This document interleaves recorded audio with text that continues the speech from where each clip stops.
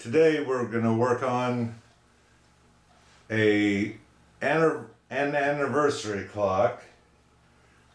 Normally I don't like working on these because I don't take them apart like maybe a clock shop would. But this video and the, all the clocks I do are for possibly the home person that has a clock and didn't want to take it into a shop. They want to try to fix it themselves. So that's what my channel is about. Part of it. Anyway, this anniversary clock. Now, this one does have the plexiglass or whatever cover. I normally don't like these.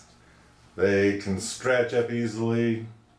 And usually when I'm at a thrift shop, I'll find one that is glass or I'll find, believe it or not, one of these that are battery operated and they'll have a glass so I'll exchange it. I don't think it hurts the value, I think it actually increases the value of the clock when it has a glass a dome for it. Now this clock here, just to show you real quick, let's zoom in on it a little bit. Okay, on here it does have the key wind in which these are a much better clock because of the key wind. And also when you transport these clocks if you have a better one this one here is just up there but it's not hanging on its wire right now because I have this little lever here that I was able to slide over and it picks this up and catches it. Now underneath here underneath the base sometimes that's where you'll find one of these, you'll slide it over and it'll lift this up and make it tight so you can transport it. The main reason why is because these things, let me pop this off real quick.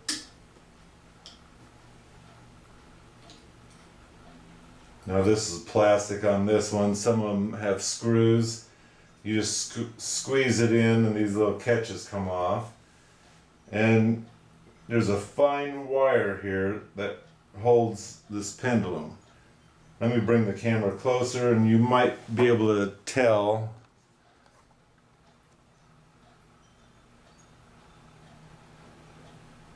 the fine wire that's on here.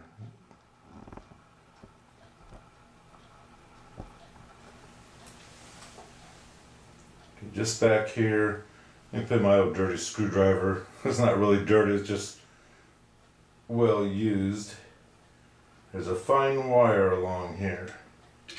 Now that's actually, uh, I do believe you'd call it the spring that uh, has us rotate back and forth. And it's a, actually it's a flat wire in here that gives the spring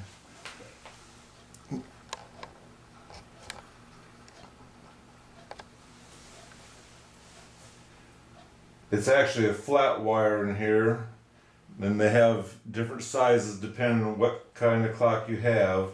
And that's what gives it the momentum to actually turn. And up above, up above inside here, this little wire here and point, this here at the tip clicks back and forth and it's spring loaded by where you have wound it and that's where the spring is. Now this clock my brother was able to pick up at the Goodwill store. I don't remember what he paid for it. I'm going to say it was between 6 to $12, something like that, and didn't run. So I plan taking this clock apart and cleaning it and the rough part for me, or the part I don't like, is the spring here. I actually never really get it opened up, so I'm just hoping through the holes it has that the fluid, clean, clock clean fluid gets inside here and cleans it and I'll flush it out the best I can and then I'll actually uh, put the oil or grease inside there to make the spring uh, slide by each other and keep the tension on onto the clock works. So also do a little close up of the brand name of this clock. Kudos or Kundo, K U N D O. It is a very nice clock. Has a little flowers around it. And this clock also is wound once a year if you know anything but an anniversary clock. So that's what kind of makes these difficult is it does have to run all year long. Now on the pendulum obviously that goes around you don't have to worry about the wind stopping it or anything. That's why they have these domes here. So you could have a fan blowing and it does not affect that. So let's get into this thing.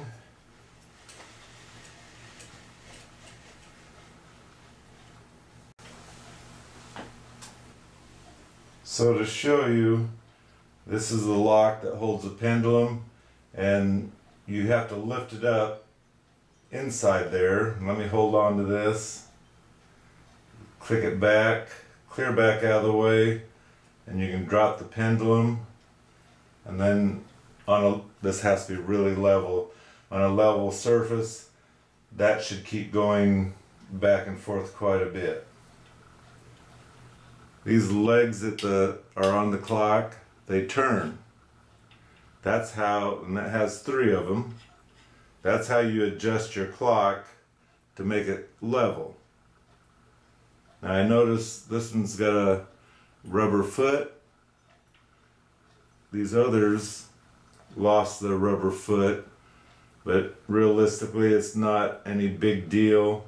Now, the rubber foot keeps it from sliding around on the shelf or on the desk or wherever you set this thing. Now, we're going to go ahead and take the wire off. There's this place here where you can unscrew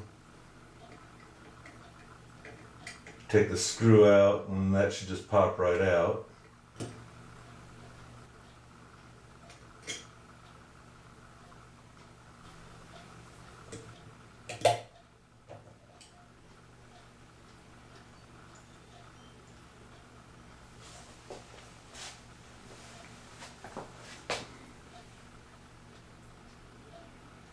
Right there goes around a rod that helps this thing click back and forth.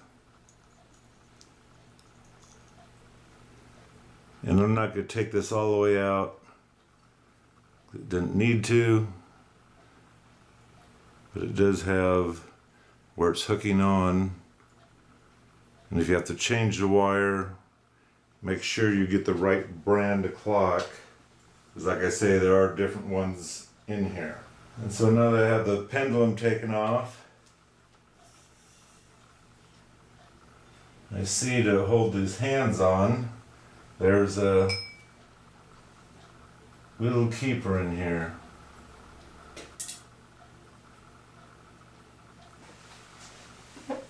And this here is a wedge.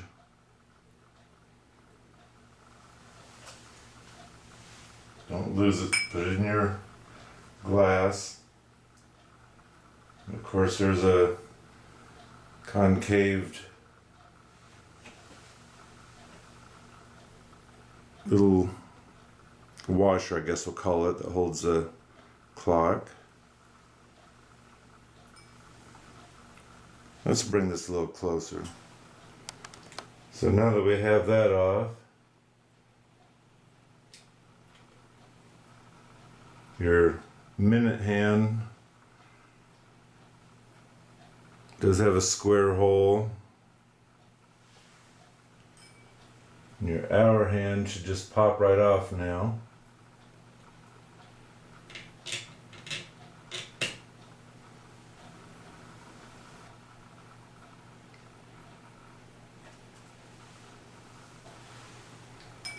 So to get the works out, underneath here, if you can see it or not, there's, let me use a pointer. There's a nut here, there's a nut here, you unscrew and this all should come apart.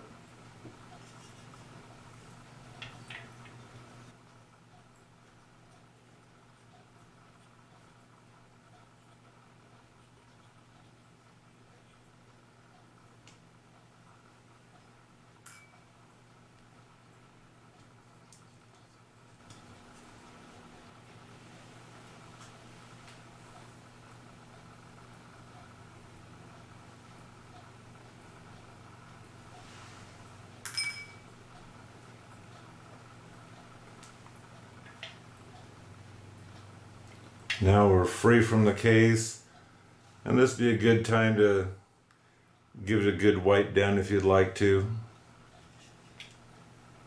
Really clean this up if you can. You notice how shiny this is and then this gets dull. Now I don't know whether they, to me it looks like they painted this but it could be just the natural coloring of age to it.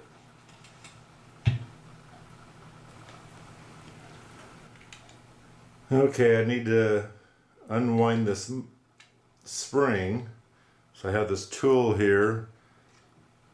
They all have different size key sizes to it. What's meant for is for you to turn this as if you're winding it. And then right here is the catch that uh and you can use the key but be very careful because this key that sets on here.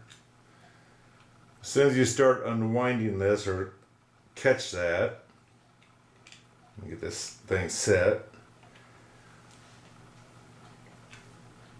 Just, there we go.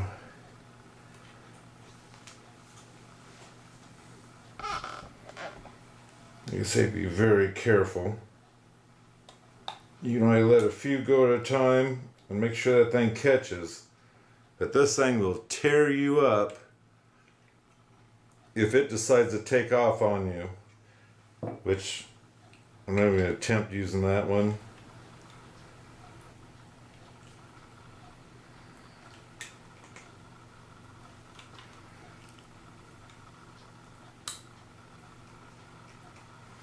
See how that sucker's turning around there?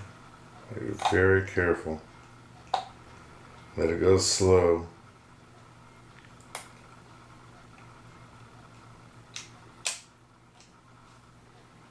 Okay, right at the end there.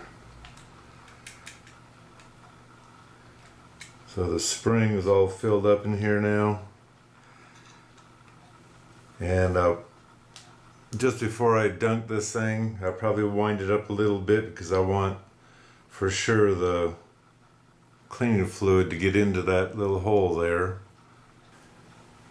I don't necessarily want, sorry, I don't necessarily want this whole frame to go into the fluid because this is nice and shiny which would be shiny probably still but I'm quite certain it has a protective like a shellac or something uh, coating on it to keep it shining.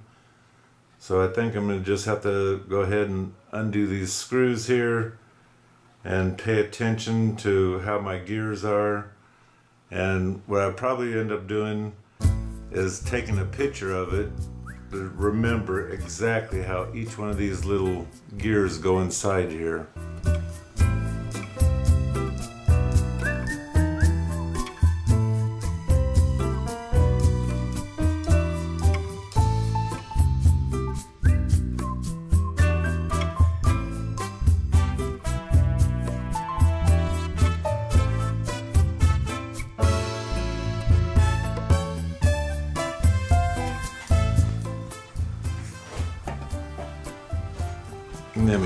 Over here. And I have better lighting in there. Need to pay attention to where each one of those gears goes, so I'll probably take a picture of it.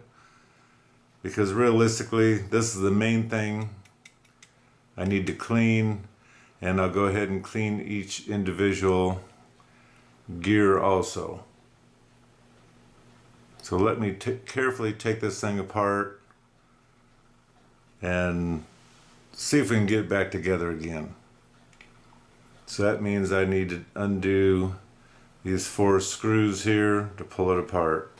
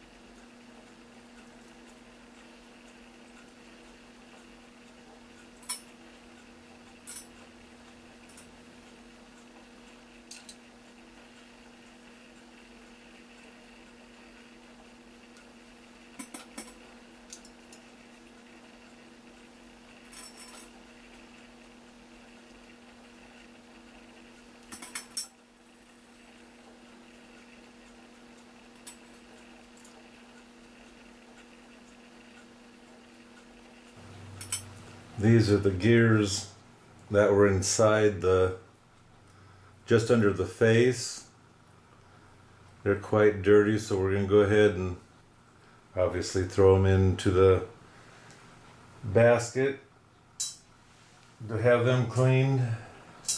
But I did notice uh, on the back it has these deals here that you turn and get them to come through the holes so you can take it apart. But already I'd suggest the normal person that has one of these, unless they're good with their hands and whatnot, don't take one of these clocks apart. so anyway, I'm going to go ahead and I have these in the basket. I'm going to go ahead and get them soaking. And this part here I might have to wait till it stops raining outside. But uh, I think what I'm going to do is I'm going to take a Q-tip with that cleaning fluid and clean these. Or I just might try some good, good hot soapy water in the sink and get them clean.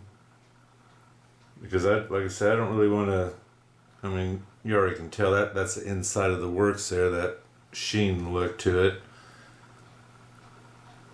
And I don't want to damage any of the shinier parts, so it might be just soap and water on these. So let me get those soaking. So let me get these soaking and mess with it a little bit, get them cleaned up, and we'll get this clock back together again and see if it still runs. Okay, it's been 24 hours. I let the clockwork soak into the cleaning fluid and now I'm going to put it together but I'm not going to put it on camera because I need to go watch the pictures I took to make sure I get the camera right.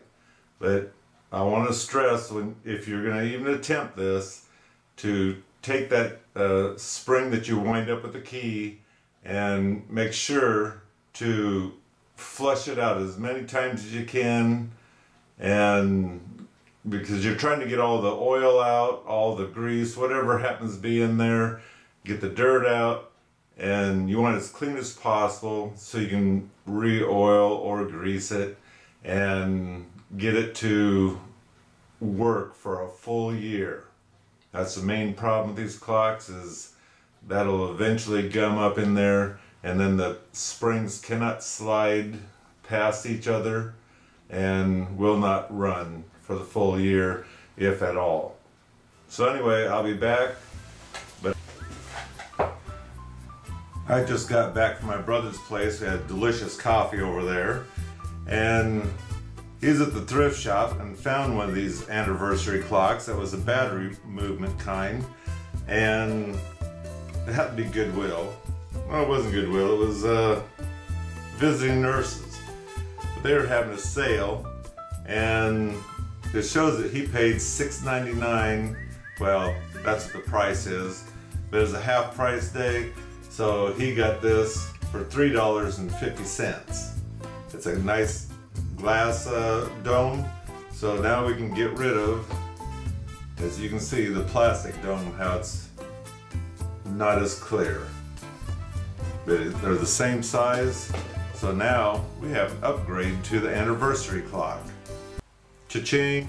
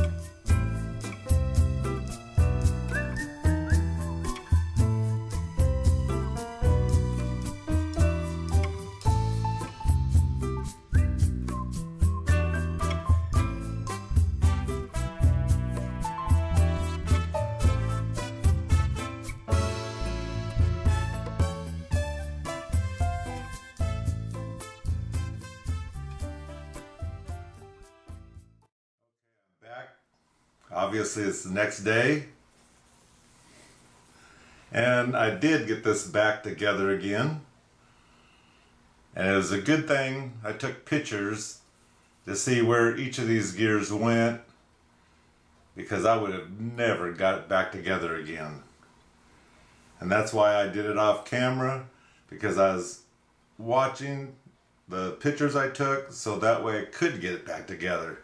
So anyway, I have this all put together, oiled, and now I'm going to go ahead and reinstall it back on the clock and get the face put on and whatnot. So anyway, let's get at her.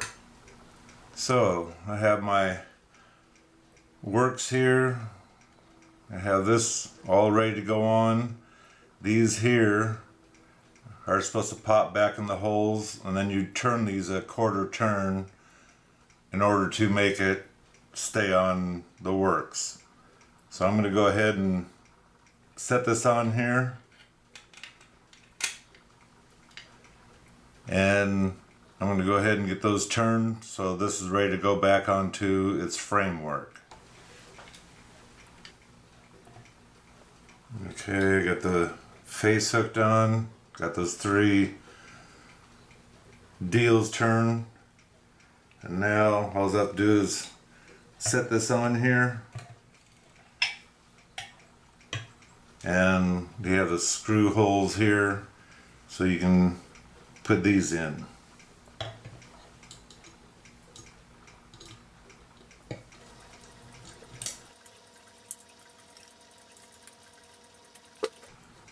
Now those are snugged up good. I would say it's time to put the pendulum on.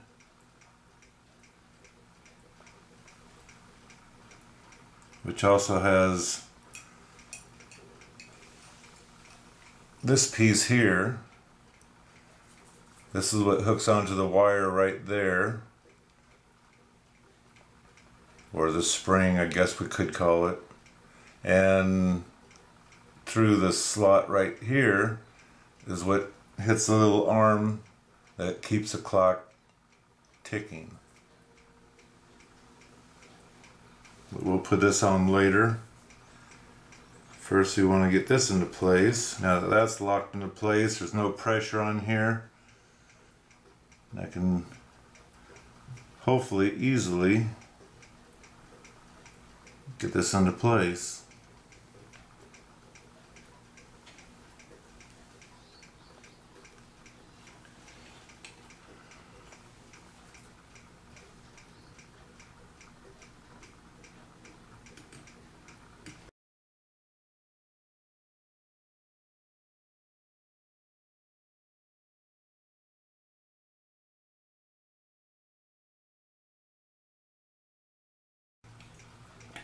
And now we can go ahead and put the hands on.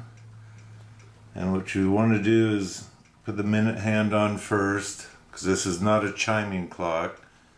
You just want to get the hours right. Okay, I wound the clock.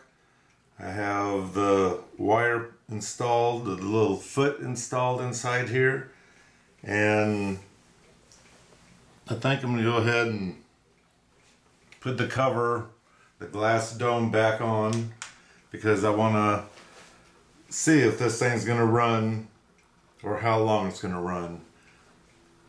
Now my table's not very level, so underneath two of the feet, I did uh, slide some screwdrivers underneath the feet to adjust it to where the center of this pendulum that's going around, it's pretty close to being in the center of that little cup. Now the main thing there is you never want to touch the side of the cup so you can be off a little bit. You have room to play. But anyway there she is. Let me it's dirty but let me get the glass dome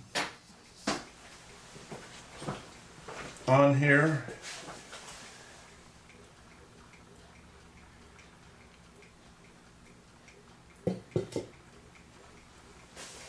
So there we have it. It's three o'clock. Uh, I hope you can't see anything you're not supposed to. So there we have it. I still got to put this back on. That covers the spring that goes down to the pendulum. And but anyway, the main thing is, did I get this thing to? Did I get it cleaned? and running. Like I say, I don't like working on these mainly because of the main spring in this clock that you can't actually take apart and clean it. So let's just check it out. Maybe I should set it the right time so we can see where we're at there. The other thing is on this to change, take this off again. I'm gonna mess it up or whatever. Well, let me let me bring the camera over to the other side. So if you have to adjust the the time to make it go faster or slower, on top of this pendulum, if you look really close, you'll see a plus and a minus, and you just have to turn it whether you want it to slow down or speed up. Let me see if I can get a closer view right here. We're getting there. Okay, that's as close as I can get. Right on top of here. Like I say, there is a plus and minus. Look around on your clock because some of them are different. This clock happens to be right up here. You hold the pendulum gently and turn this dial right here. So let me set the time and see if I conquered this clock.